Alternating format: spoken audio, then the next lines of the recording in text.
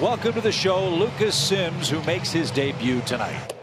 And there is the first major league strikeout for Lucas Sims. And a swing and a miss. The throw to second on the money. And in time. And a snap throw to first. Got it. Picked him off. Another liner to the mound. He just struck him out. If that's his final inning, that was impressive. Three up, three down for Lucas Sims. Six innings pitched in his big league debut.